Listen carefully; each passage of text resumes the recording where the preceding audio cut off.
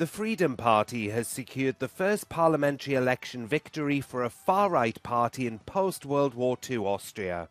A projection for ORF public television showed the party finishing first with 29.2%. That win pushed Chancellor Karl Nehammer's Austrian People's Party into second place with 26.5%. Freedom Party leader Herbert Kickl said it was a piece of history that we have written together today. Wir haben das verinnerlicht, wir fühlen uns bestärkt und wir werden von diesem Weg auch nicht abgehen. Diese 29 Prozent sind für uns eine Bestärkung. Diesen Weg, den wir bisher gemeinsam eingeschlagen haben, mit noch größerer Intensität. But to become Austria's new leader, Kickl needs a coalition partner to command a parliamentary majority, and that might be tricky. He said he's open to negotiate with other parties, but so far his rivals, including Nehammer and Social Democrats leader Andreas Babler, have said they won't work with the far right. Speaking in Vienna, outgoing Chancellor Karl Nehammer said it was bitter that his party lost, but his position towards Kickl hadn't changed. Mit Herbert Kickl, der an Verschwörungstheorien glaubt, die WHO als nächste Weltregierung bezichtigt und das Treffen in Davos als Vorbereitungstreffen für die Weltherrschaft kann man so vernünftig und verantwortungsvoll machen. The Freedom Party's win sparked protests outside the Parliament building in Vienna, with demonstrators holding placards with slogans including Kickl is a Nazi. The far right has benefited from frustration over high inflation, the war in Ukraine, and the COVID 19 pandemic, and has also built on worries about migration.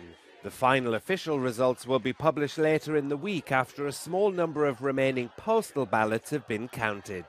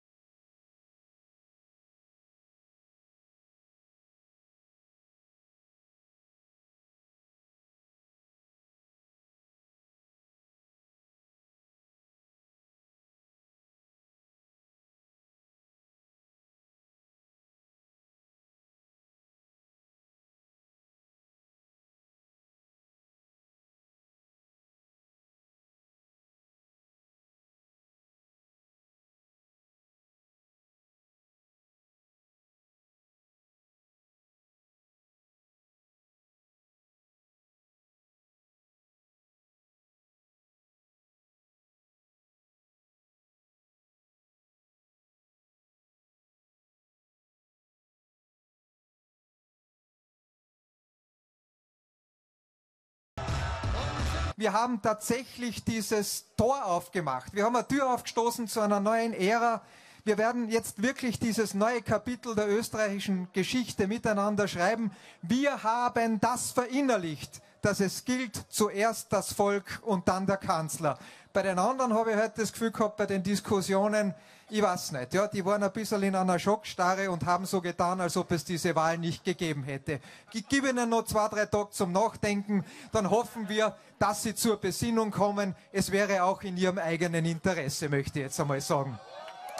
Die Kraft, die ganz tief da drin noch ein Herz für die Menschen hat. Wir haben zum einen Parteigeschichte geschrieben. Ja, die berühmten 26,9 Prozent des Jörg Haider. Ich glaube, er verzeiht uns, dass wir heute drüber gehupft sind. Im Gegenteil sogar, er wäre stolz auf uns.